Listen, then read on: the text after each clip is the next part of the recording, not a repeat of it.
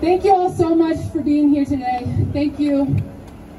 It means so much to know that you have our backs. It means everything. I want you to know we're serious. We're serious about this. We will not be silenced. I got a warrant out for me still that they will not quash. They will not quash. They won't quash Joel's either. Every criminal defense attorney told us not to be here, told us to keep our mouths closed. But we will not be silenced. That's what they want.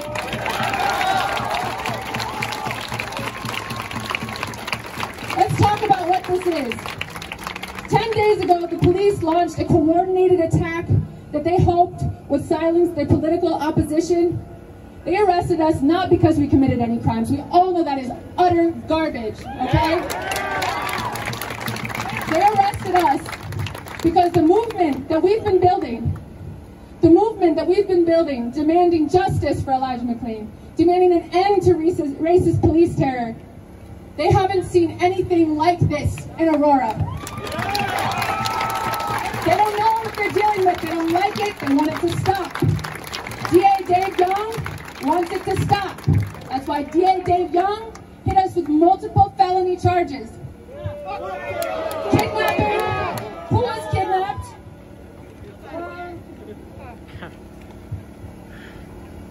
They targeted some of our leaders to scare us and to scare all of you. Every single thing about this was calculated and orchestrated to induce the maximum amount of fear. Okay? We are facing decades in prison. Decades. Decades in prison. They rolled up on me with a fleet of squad cars. They rolled up on Joel with a tank. They grabbed Eliza from her home and surrounded her husband. They locked us in jail, denying our right to see a judge for eight days. For eight days. That is completely illegal. In COVID, during a pandemic, 23 hours and more a day on lockdown in a cell with nothing. And that's what they're all going through. But we will not stop. When I said that they haven't seen anything like this before, they have not seen anything like this before.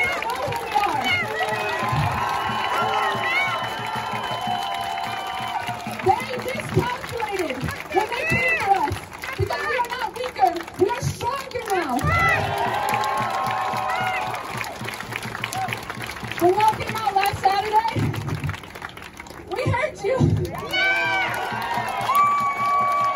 Where's voice. And on full lockdown, okay? So I'm talking thick glass and thick glass and thick glass and walls, and I heard you.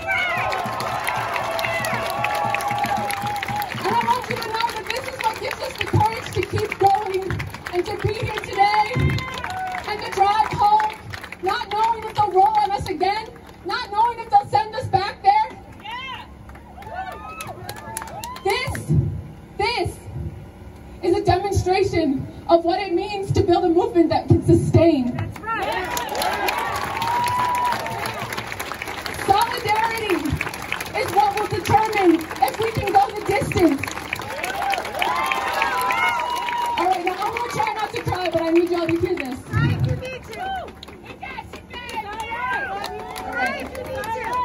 My girl Eliza right here.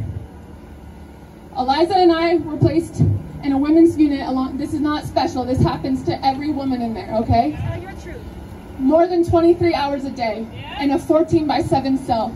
There are not enough books. It is extremely hard to get your hands on a book. There's no TV. There's no radio.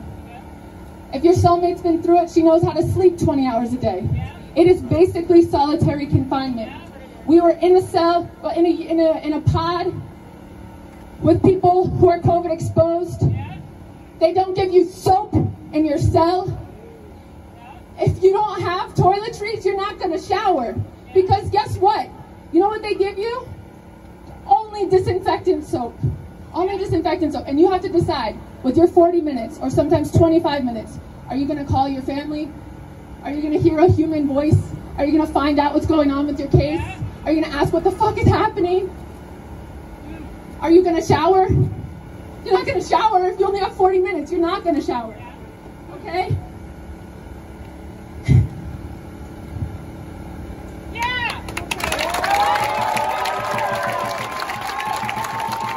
The dogs, when you ask a basic question, they treat you like an animal, like a stupid animal. Okay? And we had no idea how long we were going to be in there because that was not legal. We, we weren't sentenced. That wasn't a sentence. Okay? We were in there under the custody of the very people we've been challenging. We had no information. We had no idea how long it would go on. We knew that now that we were in their grip, they were going to punish us, and we did not know how far they would go. And the only thing, the only thing that stopped them was this incredible team behind us, watching everything they did. Everything. Thank you, Elizabeth Epps.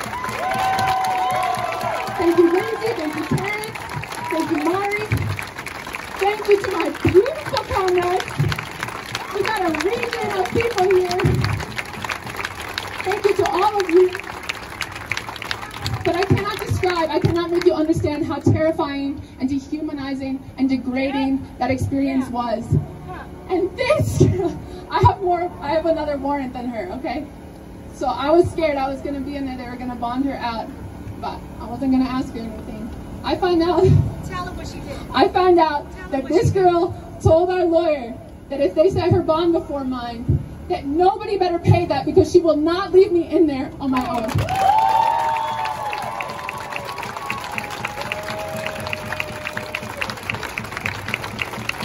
That, is solidarity that is hard as steel. Okay? That is the kind of solidarity that will lead us to victory. When we stand for each other, when we stand for Elijah McClain and Elijah McClain's family, we stand for all of each other, knowing that we may face repression, knowing that we may lose our freedom. That is a force to be reckoned with. And I'm telling you, we need that force still because we still have felonies over our heads, okay? We need you with us. We need you behind us.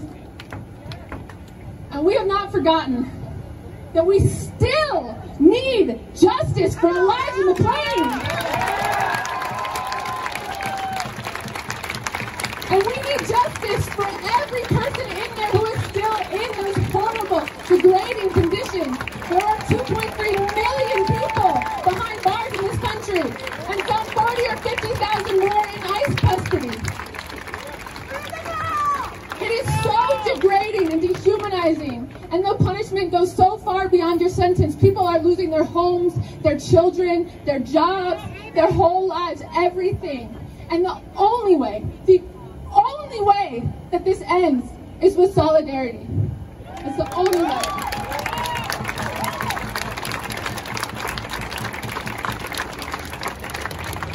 Solidarity, I mean the commitment to fight for each other, no matter what the risks are, until every last one of us is free. Free the ball! But we know, we know that the oppressor is strong, okay? We know that this system is formidable.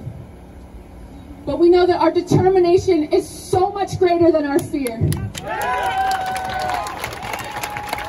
our solidarity is so much greater than their repression.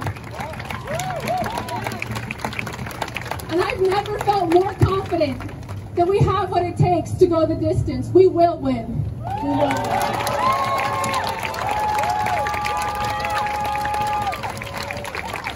No justice. No peace. No justice. No peace. No justice. No peace. No justice. No peace.